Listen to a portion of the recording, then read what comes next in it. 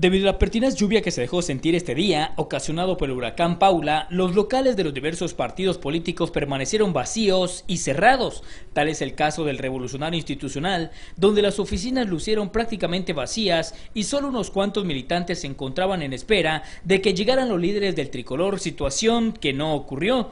Oficinas como Secretaría de Gestión Social, Secretaría de Organización, Confederación Nacional Campesina y Senop, por mencionar algunas del tricolor, permanecieron cerradas. Situación similar se vivió en las instalaciones del Partido Acción Nacional, donde ni siquiera abrieron y su líder municipal, Eduardo Martínez Arcila, contestaba el teléfono cuando se le habló.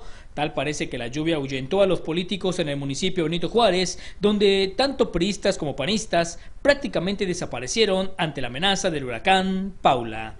En la lente Germán Espiridión de la información, Renan Moguel, para Notivisión.